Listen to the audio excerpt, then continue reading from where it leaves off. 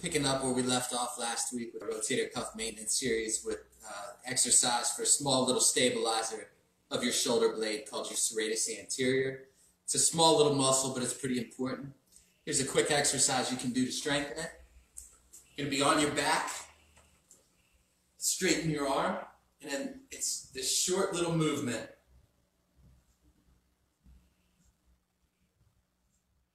We call it a serratus punch. About an inch and a half to two inches of movement.